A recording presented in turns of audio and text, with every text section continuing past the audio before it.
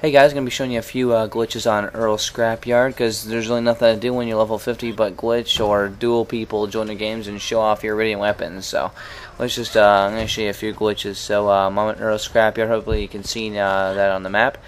Uh, and you just want to jump up through here and you can you don't need to make that jump but you can actually get on top of there and it's kind of neat but this whole area is massive on this side if um, you look to the right, there's like a swamp area, but you want to make sure you test the ground in front of you uh, occasionally uh, by shooting it with a gun that explodes on impact, like a rocket launcher um, or something with uh, unlimited ammo. Would be a pretty uh, ideal, like um, an Eridian weapon, which is what I use most of the time.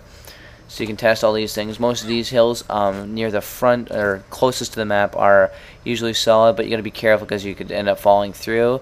But uh, don't worry, you don't lose any money. Um, you just get teleported back into the map. You can try it again.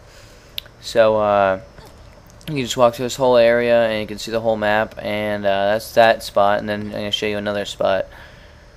And this is another one that's pretty cool too you can get to we're going to get up on top of those mountains there and it's right uh, in front of Earl this time. So you can uh, right when you walk in here you can do this one like right away. You can see Earl right there so uh, we're gonna get on top of this thing right here, and we're gonna make uh, we're gonna jump to this uh, little fence there, so you can get on like this little invisible edge. Then you want to press up against this fence. It's a little tr tricky. It's kind of an awkward jump for some reason. It doesn't work. You can go over here, and then the other side's a little bit more impressive. But I just want to show you this side first.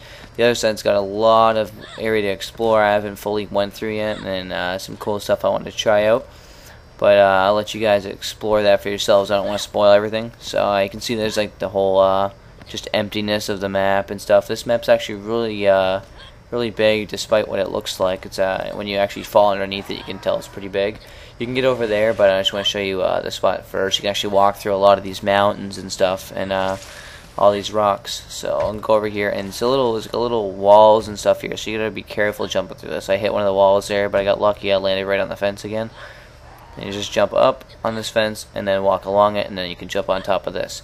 Now this side's a lot more impressive. Um, this is where I start testing it. So uh, you want to be careful going through this. Uh, there's a lot of a lot of uh, walking through stuff. So you want to pull an Eridian weapon or anything that explodes on impact. You can see uh, to the right there, that's an invisible thing. I could probably walk on it, but uh, you never know. There might not be anything underneath. But most of the time, if it's this close to the map, it's just um, it's you're supposed to go through it, but you can still walk into it without falling through. So you can see the mountains are underneath it. So that's what that one looks like. But uh, I'm to show you, there's a little dump truck over here. I still haven't gotten it yet, so I'm to let you guys uh, try and figure that out. It's actually pretty cool. And I'm to be showing you a few more of these uh, glitches in uh, a few uh, in uh, more videos, but um, because I'm running out of stuff to do on this game until the DLC comes out, which will be exciting. I'll be having all the DLC uh, videos up, hopefully first. I want to get that and do that stuff. So uh, I'll let you guys explore this. Thanks for watching. Subscribe to see more glitches for Borderlands, and uh, see you guys later.